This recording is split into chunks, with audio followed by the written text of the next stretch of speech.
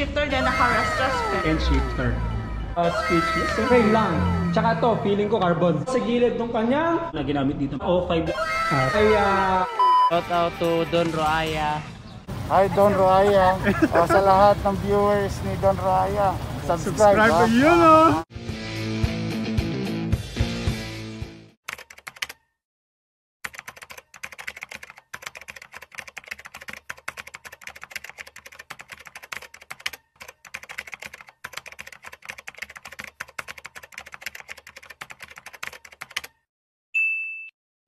Yan, welcome back muli sa ating YouTube channel mga Paps. Muli nandito tayo sa Bike Junkie here nga yan sa Santa Lucia lang naman mga Paps. Napakalapit lang nito. Boundary nga lang ito nga kita. Napaka very convenient siya puntahan mga Paps, no? So by the way, kung bago pa lang dito, don't forget to like muli, comment down below, follow the hashtag Dollar and of course, subscribe na yan. Sa mga nagtatanong kung bakit ko sinasabi yun, dahil nagpaparaffle tayo ng iba't ibang klase ng bike may mountain bike, road bike, frame. Hatid sa atin yan ng mga butihing sponsors natin. At isa na nga, si Boss Joe no, nagbigay ng limang bike at isang frame mga paps. Only for you guys yan. Kaya ganun lang. Kung gusto mo, ikaw yung next na ma-feature sa vlog natin na nabunot, nagdadasal na sila matanggap, eh gawin mo yun mga paps. Ilalike mo lang yung kanilang FB page, especially sa Bike Junkie PH. Ganun lang, ganun lang mechanics. Eh di sa'yo na yung bike. Pag ikaw nabunot, di ba? So, eto na nga, kasama natin muli si Madam, Neri po. Madam Neri. No? At uh, ito ay uh, picture natin yung mga mid-level kung tawagin or nasa papunta na to ng high-end bikes mga paps. Ilang? Meron tayong ah, Twitter and Mountain Peak po. Alright, eh, anong meron dito sa Twitter na to ma'am? So itong Twitter arte na to is full carbon po ito. Yan, ito mga paps, itong kanyang ah, cockpit mga paps, no? napagkaganda-gandang ah, drop bar. Ayan. Talagang stock na siya ni paring Twitter. Yan, dito sa taas ng kanyang ah, ah, drop bar mga paps, may Twitter na nakalagay. Ibig sabihin, gawa to ni paring Twitter. Carbon na rin to, boss? O, carbon loading. Ha? Pwede pitikin yan. Pwedeng pitikin. oh, carbon loading. Al- Alright, at ito mga paps, 105 na yung kanyang STI yan. Pwede natin sabihin STI yan dahil, ayan, dahil nga Shimano 105. Alright, ayan o. Brake and shifter mga paps. Yan ang purpose niyan. Ayan o. Brake and shifter. Alright, STI dahil naka Shimano 105 lang naman ang social, no? Netong uh, Twitter R10. Ayan, sobrang ganda. Sobrang naganda na ako dito. Pagkakita ko sa picture ni boss. At carbon loading, even the seat po, sir, Yes. ay carbon mga paps, no? Tapos napakaganda kasi bakit? Ah, para siyang matte type na gloss, ganun, ganun yung texture niya mga paps eh. At naka-ICR na yan ha. ICR na yan mga paps. Ibig sabihin, internet cable routing, yung wire ay pinapadaan sa loob ng ah, batarya mga paps. Integrated yung ano, Paps. Hmm? Integrated yung Yung drop bar, integrated yung ah, drop bar kung tawagin. Kaya may kitang cables dyan. Kaya nga, eh, nakapasok lahat eh. Oh. Kala nyo nandito sa ano? Sa loob na tape? Martin. Wala, wala mga paps. So, kinakapako. Nasa loob talaga siya. Yun ang kinaganda nito uh, arte na to. At yung kulay, syempre. No? Tapos, itong kinagandaan din, yung gusto ko dito, medyo nakababa yung seat stay. Very modernized siya kasi madalas ah, nakataas, di ba? Parang triangle siya. Nandito. Pero hindi mga paps, binaba siya. Yun ang gusto ko. Ang ganda, panalo. Parang ito yung ginagawa ni Boss Jun, no? Ayan, oh, ang ganda. Tapos ito mga paps, oh. Ito yung parang humahalik na yung gulong. Yun ang maganda rin mga paps. Parang kumbaga, lowered, ano siya, top down. O lowered ba tawagin? Yung gulong humahalik na sa simento. Ito naman humahalik na sa uh, sitio mga paps. Ang ganda. Oh. Yun ang maganda. Mga aero-aero mga paps. Tapos, Bawal makasagasa ng etchas yan, Paps. bawal. Punas ka agad. Sasabit ko. Nasapit eh. Punasan mo agad. Kaya habang nagmamaneho ka, tingnan mo dito. Ayan oh. Tapos, no, abang na rin for battle cage dito sa kanyang uh, seat tube mga paps. And dito sa taas, ng kanyang ah, down tube, may battle cage na, na libre. Ayan oh. May nakalagay dito sa taas na Racing Passion. Dito sa taas ng kanyang ah, down tube. Ito yung the brand itself kung tawagin, Twitter. Ayan, Twitter lang naman. Grabe yung Twitter, parang 2 years ago. Nasa 90,000 yata to. Tama ba mga paps? Kung nare-remember ko. Please comment down below yung unang vlog natin ito sa Divisoria. Ngayon, di ba nagsibabaan pa? At partida, hindi pa yun parang full carbon. Ito, full carbon. Eh, nasa magkano mo? Lang, napakamura ng mga paps. At naka-ACR na yan ha. Ulitin ko. Tinan nyo yung pinaka ano niya oh. Tube mga paps. Ang ganda rin ng emblem. Emblem yan, hindi yan sticker ha. Yan, emblem. Ang ganda, di ba? Tapos dito tayo sa kanyang wheels set. Ayan, ah, racing. ah, made by Retrospect yung ah, rim na ginamit dito. Tapos ito, naka-tire, ah, naka-maxi share na siya. 700 by 25C yung lapad ng kulong na ginamit dito. Tapos naka 120 max PSI na rin siya. Naka disc brake caliper na siya mga paps ha. I know. Na rotor yung ginamit dito. Alright. So, ito FD niya ay Shimano 105. Tapos, itong uh, RD o rear derailleur ay Shimano 105. At dito sa kanyang chainstay, ayan, carbon Lodi, carbon fiber, seat stay. Ito may nakalagay na racing, passion at ito. Alright, muli ang speed nito ay 1, 2, bilangin natin tong cassette sprocket. 1, 2, 3, 4, 5, 6, 7, 8, 9, 10, 11. Ulitin ko ha. 1, 2, 3, 4, 5, 6, 7, 8, 9, 10, 11. Yan. 2 by 11 speed mga paps. Alright. Ayan, may butas din dito. No? So, feeling ko ay for ano talaga to. Ah, caliper C. No? Pag gusto nyo lagyan. Tapos, ito sa top tube. Ayan, may warning din. Siyempre, kailangan yung basahin yan kasi hindi lang basta ah, dinidikit yan mga paps. Dapat consider nyo rin yan dahil sa kaligtasan nyo yan. Ayan, screenshot ko na lang. Tapos basahin nyo. Alright, R10 road race. Tapos dito sa lower portion, may create unlimited. Alright, retrospect naman tong ah saddle. Mountain Peak Rexton. Ayan.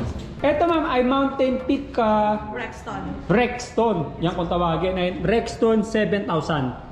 Ayan dito sa kanilang ta- ah, top tube. Ito may warning oh. Dapat i-consider nyo talaga yan. Basahin nyo yung mga pas mahalaga yan. Yan Rexton 700. Ayusin natin tong ah, kanyang ah, drop bar. Alright, ito ay So ito sir ay Mountain Peak Rexton. So full carbon na rin po ito. Frame, fork, and uh, seat post po. Alright, ayan, full carbon daw tong naka-ICR na rin to mga paps, no? Tapos carbon din tong ano, sir? Drop bar? Ah, hindi paps. Hindi pa. Ah, ano lang, frame lang. Tsaka to, feeling ko carbon. Pinipitik talaga eh, no? Sarap pitikin talaga. Pero wag kayong pipitik mga paps. Ako lang yun, ako lang yun. Huwag kayong huwag nyo gayahin. Alright, at ayan mga paps. Naka Shimano 105 lang naman yung group set na ginamit dito. Ayan. Ibig STI ang tawag dito. Kasi kung kasi kung hindi to STI, ang tawag lang ay yan, tama. Briefers. Alright. Yan, so STI. Alright, STI tawag dito. Yan, Shimano 105. Alright, yung head tube niya, ito may mountain peak, yung logo itself. Tapos naka fork rigid na rin siya. Naka disc brake caliper na rin. At ay mga, mga paps, oh, naka disc brake caliper. Ang ganda ng kanyang fork mga paps, no? Panalo. Tapos dito sa gilid ng kanyang ah, top tube, ayan, may Rexton 7000. Alright, sa down tube, Mountain Peak. Yung the brand itself na ginamit dito. Ang ganda dahil may abang na rin na down ah, mount for battle cage sa taas ng kanyang Mountain Peak. And dito sa gilid, tatlo. Ewan kung bakit tatlo. Siguro pwede nyo dikit dito, yung battle cage or dito. Ang galing, no? Tapos, mas maganda rito, kasi for example, lagyan nyo ng ah, frame bag, pwede, pwede nyo ilagay. Alright. Ang size nito Medium. ay medium size, no? Pero may nakalagay dito na 470. Pero medium size to, madam. Medium size po talaga siya. Medium size mga paps, no?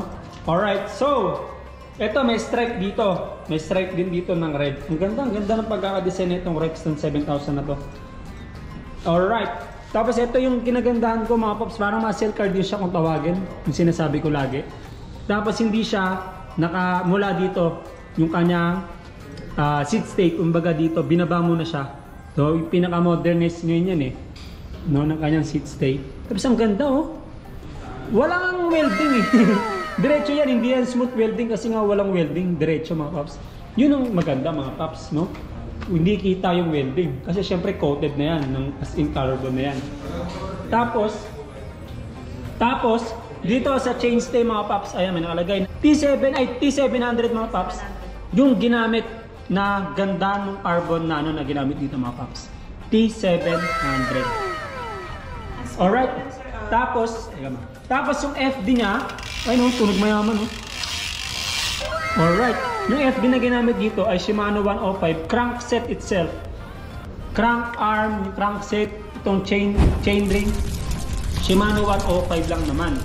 Even the uh, RD, the regular mga paps, ay Shimano 105 din.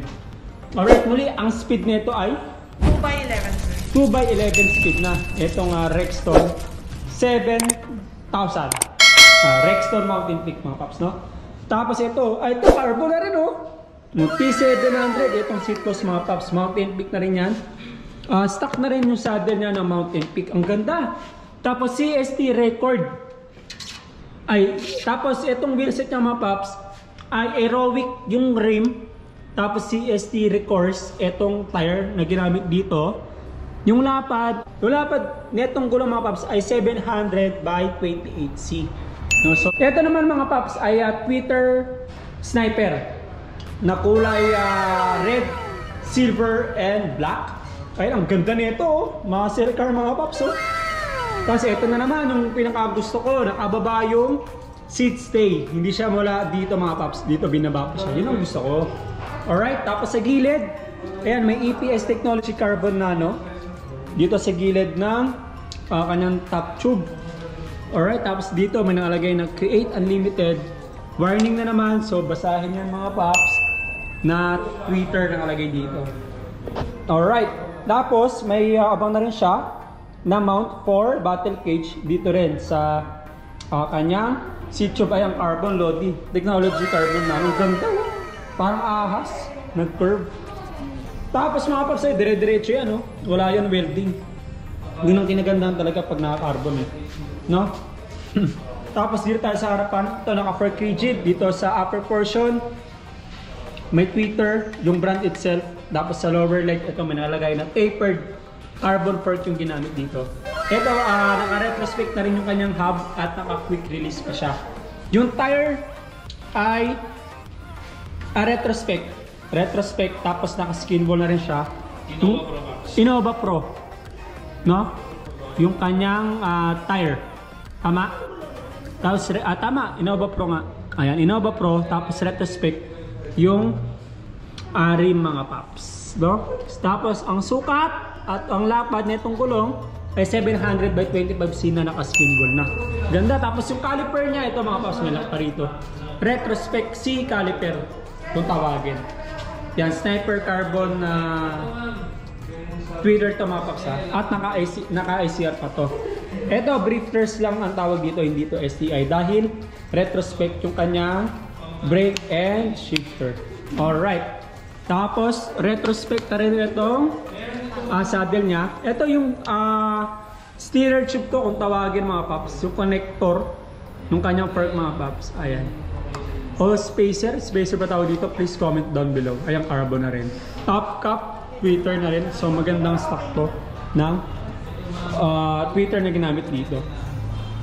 FD ay ah, retrospect, even the RD. At ang speed, Ang speed po niya is 2 by 11 din po. 2 by 11 speed. Ito ay gravel bike. Ay, medyo malapad-lapad na. Yun lang naman pinagkaiba ng gravel bike sa road bike paps. No? So, ito malapad-lapad. Ang size nito ay ah, 34,629. Ito yung description niya. Twitter gravel talaga. Ayan talaga yung gravel bike nga. Yan, Twitter gravel. 48 cm yung size to 54 meron sila dito. Tapos high modulus carbon frame yung ginamit dito mga paps. No? Carbon Lodi, carbon fork, no? Tapos ah, retrospect na group set 22 speed. 22 So ibig sabihin nasa 11. 11 po. 2 by 11. 2 by 11. 2 by 11 speed nga tayo. Tama nga mga paps. At lightweight lang siya. No? So, ibig sabihin magaan to mga paps. Ito nga, gravel bike nila nito. Naka-disc brake na yan ha. Ayun. oh. Naka-disc brake. Tapos 2 by 11 speed, carbon lodi. Tapos may tweeter din sila dito. Mga paps ay may hybrid din sila dito na carbon lodi rin. No, so halos pare-parehas lang ng specs. No, carbon Same specs lang po. Same specs, sabi Pero na eh. pinagkaiba lang po yung yung ano, yung handlebar handlebar, oo. So, ibig sabihin, na naka-hybrid to, no? Naka-avid pa pala to, na brake, oh. Ang tibay na ito, mga yung avid. Kaya mga uh, invite namin kayo dito sa aming shop na Bike Junkie. Kung hanapin nyo rin ang aming FB page, hanapin nyo lang po ang bikejunkie.ph po. So, dito po ang shop namin is nasa Brick Road, Santa Lucia, East Grand Mall, Cainta, Rizal. Uh, open 9 a.m. to 9 p.m. po. Mapagat din kami ng... Uh, tumatanggap kami ng uh, mode of payment natin is cash, Gcash, and uh, debit credit, and uh, home credit po. For, look for Miss Neri or Boss Jonathan or Boss Christian at sabihin, teka may candy pa ako, at sabihin nyo na yung magic word na napanood nyo sa vlog ni Don Roya, talaga naman, nabibigyan kayo ng malaking malaking discount. Yun ang mga paps, muli stay safe and God bless you.